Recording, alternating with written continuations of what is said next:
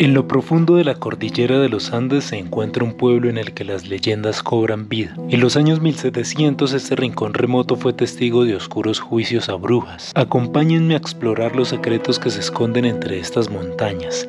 Continuamos recorriendo el departamento de norte de Santander y ahora llegamos al municipio de Silos, tierra de historia, misterio y paisajes increíbles. Vamos a recorrerlo. Silos es el municipio más antiguo de norte de Santander y el único fundado en Colombia por un alemán, Ambrosio Alfinger en 1531. Este explorador y conquistador alemán llegó a América en busca de riquezas.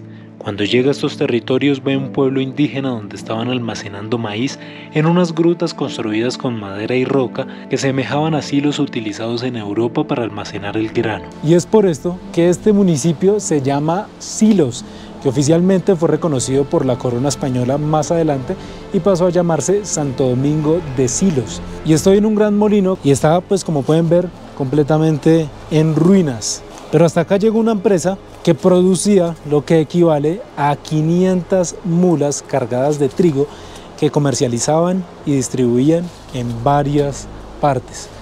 Pues como pueden ver, monte y la estructura en muy malas condiciones.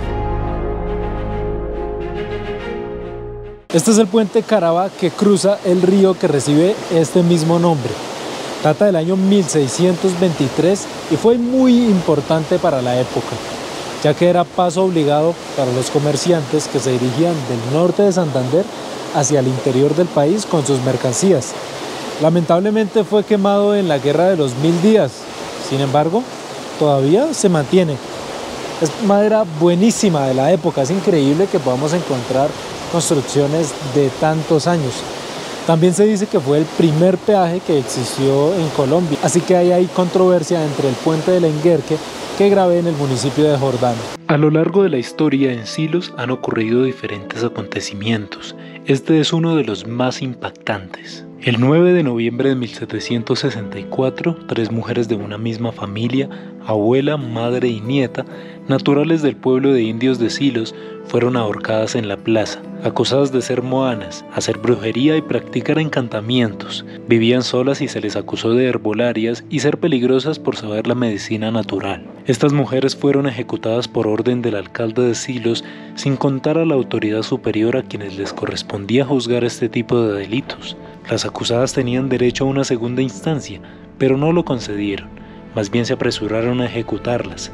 El proceso llevado por las autoridades indias se dio entre el momento de la prisión, los tormentos, las confesiones y la horca en solo cuatro días. Este hecho ocurrió en el mismo lugar solo 16 años atrás, y pese a las advertencias que la justicia española les hicieron en aquel tiempo de moderar sus acciones, las autoridades indias no las tuvieron en cuenta.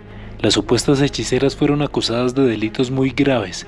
Los venenos que las moanas lanzaron o inocularon en un trago de aguardiente o chicha sobre sus víctimas podían enfermarlos gravemente o matarlos. A muchos de ellos se dice que les hacían lagartos, cangrejos o culebras en el estómago. También hacían aparecer animales que asustaban a los caballos o que provocaban nubes y tormentas. ¿Será que estas mujeres fueron verdaderas brujas o solo víctimas de la superstición? Después de conocer esta historia, acompáñame a visitar algunos lugares emblemáticos de este municipio de Colombia. En el centro del pueblo encontramos la esquina del Matacho, que es muy parecida a la casa del florero de Llorente en Bogotá. Resulta que desde acá se puede decir que empezó el proceso de independencia de nuestro país. Y algo muy curioso que sucedió en este municipio y que casi no se cuenta es que se leyó el bando de Tupac Amaru, este personaje tan importante de la historia del país del Perú, pero es un misterio. En esa época, en el año 1781, acá, y que lo leyeran en este balcón, y se motivaron para la revolución de los comuneros, que normalmente la escuchamos en Socorro, Santander, pero se puede decir que empezó acá. Cuando mataron a Tupac Amaru en Perú fue en el mes de mayo y la proclama se leyó en junio de 1781, dos meses aproximadamente después. La persona que trajo la proclama salió corriendo desde allá y mientras llegaba, a él lo estaban asesinando. Vamos caminando por las calles del municipio y podemos apreciar que se conservan casonas antiguas con su arquitectura colonial, Vamos subiendo por estas escaleras y vemos unos letreros con los dichos populares de este pueblo. Ya está grande y tiene cédula. Las cuenticas claras y el chocolate espeso. Todo muerto estira, se va sin dársele nada. De esa pita tengo un rollo, aquí estoy y aquí me quedo. Bueno, esos no los había escuchado antes. Pero ¿qué tal les parece? Yo considero que está muy bonito.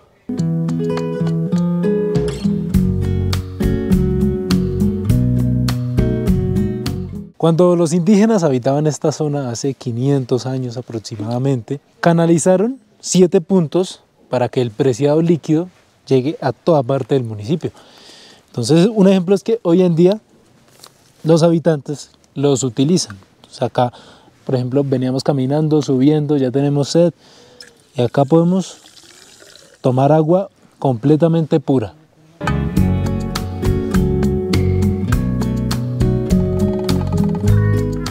Estamos transitando por caminos difíciles, la verdad, y estamos movilizándonos en esta camioneta que muy amable Orlando nos está colaborando en esta aventura. Orlando, ¿qué tal es vivir por acá? ¿Qué más, amigo Kevin? Bienvenido a Silos.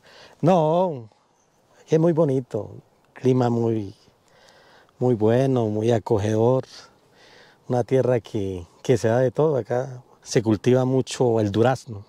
Tenemos uno de los mejores duraznos en, del país. ¿Usted se dedica a sí, esta sí, labor? Yo estoy dedicado de, tiempo completo al cultivo y la, la comercialización de, de durazno. De durazno. Sí, claro. Me estaba contando Orlando que también le gustan las redes sociales y, la creación del contenido, ¿verdad? Sí, sí, hemos iniciado, hemos iniciado. Estamos en, en, en las diferentes plataformas digitales. Aparecemos como Marcos Orlando PP5. Bueno, ya saben amigos, yo estuve viendo los videos ahorita, chévere, de la región, del campo, contenido que yo sé que a ustedes les gusta.